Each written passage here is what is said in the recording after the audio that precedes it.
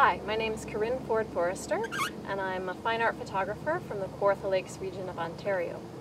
My black and white art photographs blend images of the human form with landscapes, both natural and man-made, to show our impact on Mother Earth and to under further understand our connection to nature.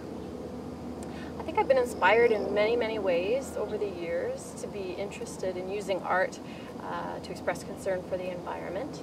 I grew up in the country and really gained an appreciation for the natural places.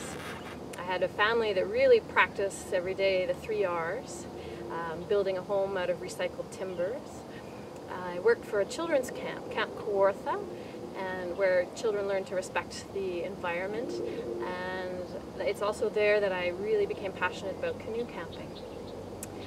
I also had a great opportunity through CPAWS, the Canadian Parks and Wilderness Society, to travel in the Northwest Territories to the Nahanni River.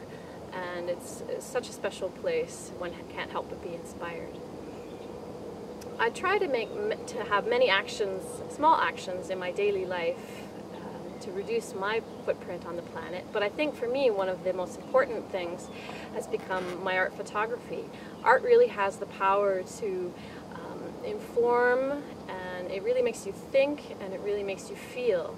And I think that we all understand intellectually that the planet is in peril, but until we really feel something about what's happening on our planet, that we won't act. And I would really challenge Canadians to really think about the earth as their mother. And when, when you hear a, news program about uh, an environmental issue, whether it's in your own backyard or halfway around the world, I would encourage you to, to feel that very personally. And I think we need to understand our connection to nature, uh, how we're connected to the earth and the air and the plants and the animals and the water. I'd like to challenge Canadians to, to protect the planet that sustains us.